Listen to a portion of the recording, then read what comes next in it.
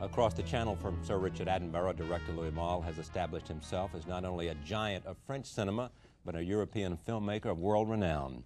He quite simply makes classic movies. The Last Metro still grips us with taut drama. Au revoir, l'enfance is uh, Malle's haunting childhood memory of German occupied France. Atlantic City and My Dinner with Andre will be screened as long as there are projectionists. Louis Malle's next movie is called Damage. It comes from Josephine Hart's best selling novel, and we're pleased to welcome him here this evening. Thank you for coming. You optioned Damage when he was still in galleys. Well, she she sent it to me, yeah. uh, Josephine Hart. She she asked her agent to give it to me, and uh, so it was about four months before before it was published.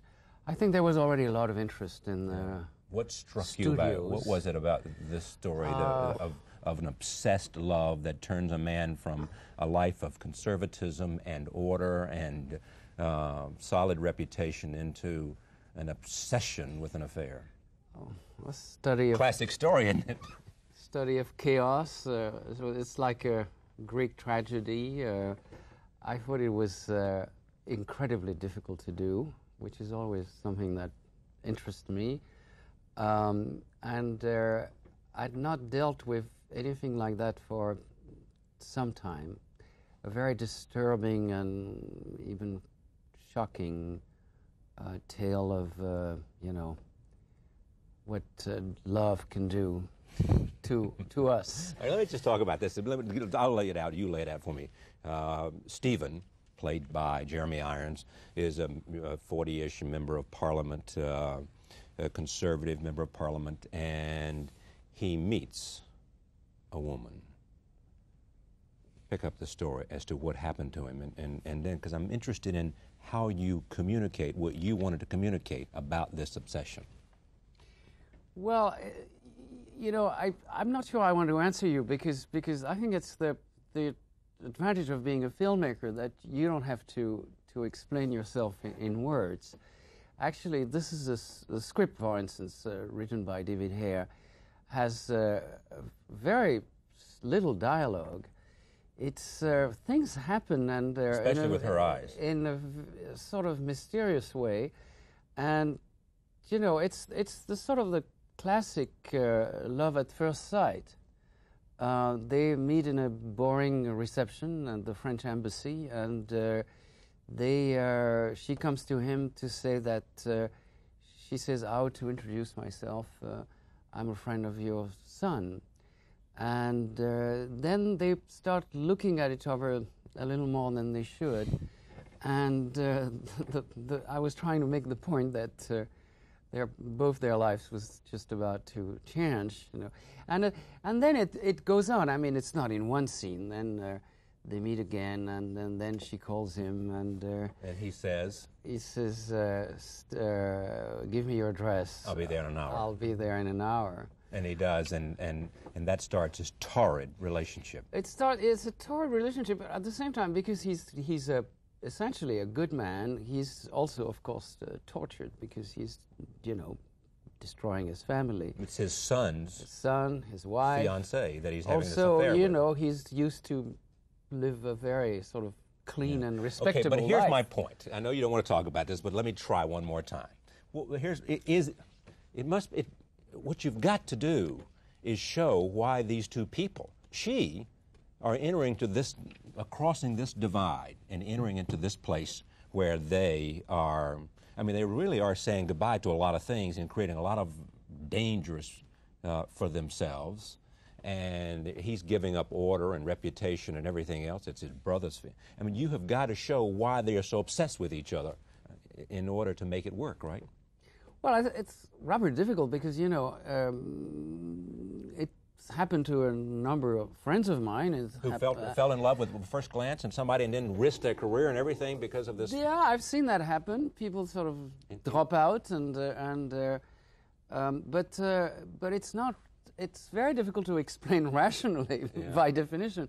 It's something that uh, you would explain after it happened, but on, not on the moment. And uh, my, I, I had to I try to show that, of course, it was like a magnetic attraction and a, and a sexual attraction, but also that there might be an element of self-destruction in this relationship. well, it clearly is on both sides, and uh, and uh, it's uh, it's it's bound to end uh, tragically, and they both know it, and uh, and it's it's a lot about pleasure, but it's there's a, a certain amount of uh, I don't know violence and despair in it. You think a Frenchman is better? This is an English story, but somehow because it's love and passion, a French director is better able to do this? Well, I'm, I'm not sure about that, but I can tell you that I work with this uh, wonderful uh, English writer, David Hare. and Yeah. uh, Who wrote my uh, Miss Saigon? Did he? No, no, he, he, he wrote uh, plenty. He wrote a number of Yeah. great plays, and he's also a director. And uh, when we got to those scenes, we discussed them, but uh, he refused to write them. He said, Well, you know, I'm English. This is not my terrain. This is all for you, Louis. Good And you luck. wrote them? Good luck. I didn't write them, uh, we improvised them with the actors. All right, set this scene up. This is Jeremy Irons playing Stephen with the, the young woman, and I think it ends with she saying she's a damaged person. Set up the scene for me. Well, it's a scene after. Uh, at, it's rather at the beginning, but uh, it's when he's really hooked. And uh, there's been before that a scene, um, a family dinner, which was a little difficult for him. All right. And uh, then uh, he Because his son, who is the fiance, is there and all the son that. was uh, you know a wonderful young Yeah. man, and uh, so he follows her home and he comes to see her, and uh, they have a, a they sort of grab each other and they have a rather warm uh, you know love scene, and then after that you know they're on the bed and they talk and. Uh, she talks about her brother, and we'll know later that the brother has been just a real trauma of her Yeah, childhood right. because he was desperately in love with her and committed suicide. So she's a damaged person and a survivor. And that's and she she's very honest because she warns him that she's trouble. yeah. Roll tape. Here it is.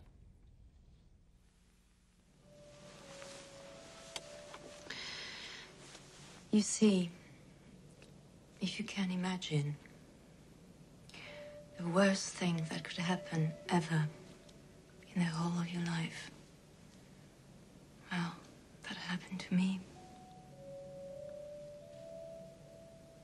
My brother killed himself over me. I had to decide. I made up my mind. Because I could have gone under. But I wasn't going to.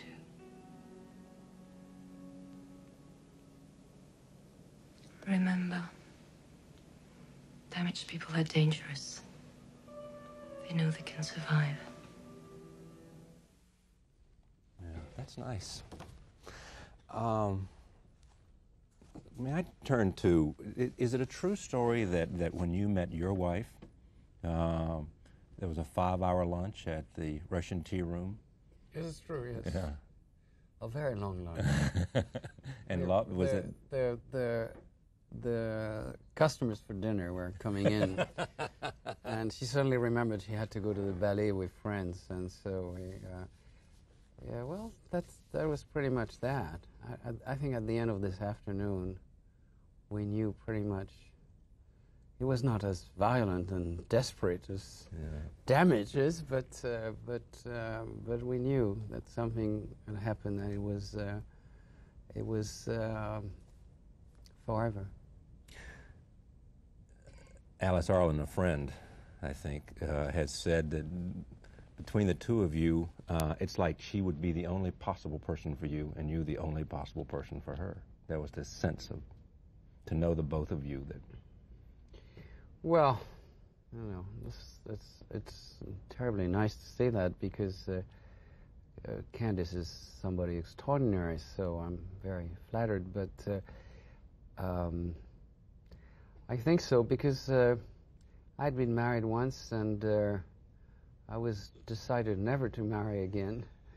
And uh, Candy had been, you know, this has been this was a really sudden and. Uh, you know, it's it's really interesting because uh, we sort of knew each other without knowing each Yes, other. I know the feeling. and uh, we would meet in social, you know, dinners or whatever, and sort of almost avoid each other. I think, and we've often talked about it. I think what happens is we knew that we shouldn't fool around. Uh, the, maybe the moment was not not come, but we had to, uh, you know. I think we knew. I think we knew, and uh, for, for, for quite a few years. And then uh, one day I called her and uh, invited her to lunch, and well, this long lunch. And you really Best knew then. Best lunch you've ever had? Best lunch. and then there was a daughter. Uh, and now you spend a lot of your life in Paris, and she spends a lot of hers in Los Angeles, and then you get together, and, and, and somehow that works. Well, it, it works, yes. Uh, you know, it's not that uh, I, I would. I would suggest the, the. I've tried to suggest the producers of Murphy Brown to shoot it in Paris, but uh, yes. Can't, can't, Murphy goes on location. FYI work comes yet. to Paris. Actually, I, when I'm not working, I'm I'm I'm spend a lot of time in Los Angeles, like I'm doing now. But uh, after Damage, but uh, and they spend the summer in, in France. But uh, you know, she's uh, stuck there for uh, for a while because uh, I was happy to to read that Cheers was off the air because uh, after 11 years. So it means it may There's only be 11 years. That's right. is hope. Murphy will make after 11 years. You may get her back. The um, a couple of quick things. One that is that you had a bi- battle with the censors on this thing. They gave you an NC-17, uh, and you said at that point, "I'll never cut this film," And I did. and you did. Yeah. Shame on me. Shame on you. Well, Seven you know, seconds you cut, right? Yeah, well, we changed the order of the scene and we did a little monkey business, but uh, basically, uh, fortunately, it's the same scene, and uh, and they accepted the the change and uh, gave us an R. I'd not realized because uh, that uh, NC-17 was such a disaster. It means anybody under 17 can't come to the film. Well, it's that what it not- means? No, it's it's just that they they used to call it X, which means uh, you know this is pornography, Right, right. which I thought was.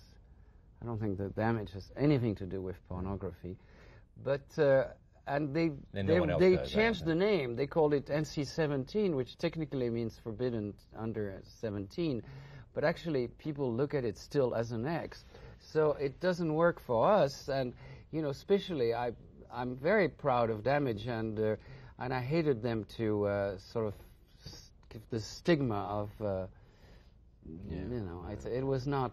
It was not right. Yeah, we Americans sometimes get obsessed by sex, uh, which you Frenchmen, I suspect, think we're a little bit prudish, don't you? Well, No, I, I, I think it's it's different. For instance, what what strikes me as a nudity is a better word, not sex, but what strikes me, yes, as a as a foreigner, as a foreigner who lives here all the time, but Yes, I know. is this uh, yes, there's a taboo on nudity, and uh, where it seems like uh, violence is completely uh, acceptable. You know, I don't know. It's the uh, National Rifle I, I, Association. or- I, I know. but uh, but it's it's really like that. It's uh, it's sometimes I must say, if I was a censor, there are certain things, certain violence that I think would be Much more obscene than any nudity you'll ever see. exactly. Yeah, I agree. Uh, next project is it underway, or are you still in, in the process of? No, I'm I'm just going to to take uh, time off. I'm I'm getting very uh, lazy, and uh, I might I'm even considering retiring Oh, sure. and are. live in Los Angeles. Yeah, it's a long way from being a cameraman for um, for uh, Jacques Cousteau, isn't it? It's a long way, but uh, well, you know, some people think my films are a little sort of Yeah. Underwater. underwater. Well, I read that somewhere. Someone said about Somewhere. that. But look at this. When you look, this is a filmography, which is a sort of like a bibliography. And look at this, from 1953 to 1992, uh, Alamo Bay and Lacombe, Lucien, Pretty Baby, Atlantic City, My Dinner with Andre Crackers. Thank you for coming. Thank Pleasure you. to have you very much. Bye-bye. Louis Malle, thank you for joining us. We'll see you tomorrow night. Tomorrow, a special broadcast of an hour with NBC News anchor Tom Brokaw. See you on Friday.